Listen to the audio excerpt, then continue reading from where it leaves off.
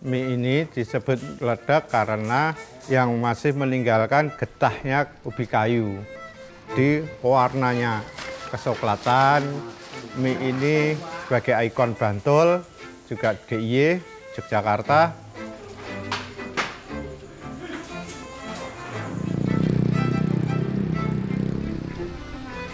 Nama saya Yasir Ferry Ismatrada mie ledek ini dulu diproduksi oleh kakek dalam satu pabrik dan satu rumah itu jadi satu.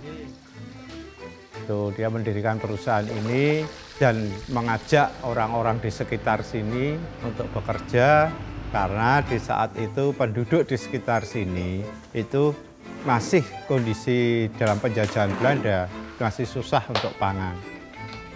Produksi kita ini kan produksi hanya berdasarkan sosial, jadi kita nggak bisa mengambil keuntungan yang maksimal.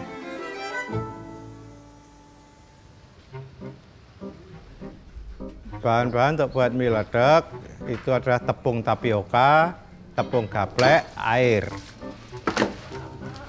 Kita bentuk kotak-kotak untuk kita steam atau kita kukus.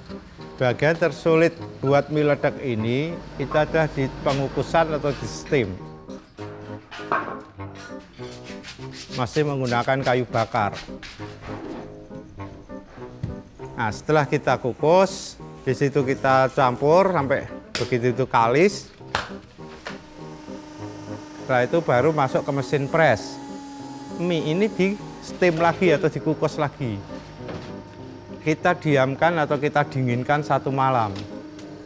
Pagi harinya kita rendam di air biasa, kita cuci untuk menghilangkan kayak getah-getah itu. Begitu kita jemur kurang lebih sampai dengan jam 2 siang, mulai dari pagi jam 6, itu begitu kering, kita packing, sudah siap untuk kita pasarkan.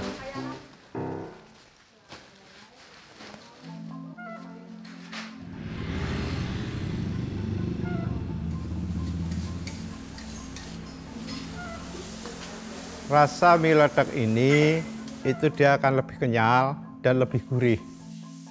Mie ledek ini disajikan biasanya dengan mie goreng atau mie rebus atau katakan mie campur atau di sini bahasa Magelangan, mie campur nasi. Toppingnya mie ledek ini itu ada udang, ayam, telur, atau ebi, biasa ebi. Mie ledek mengingatkan dengan rumah karena makan mie ledek ini paling suka yaitu di restoran bersama teman-teman atau bersama keluarga.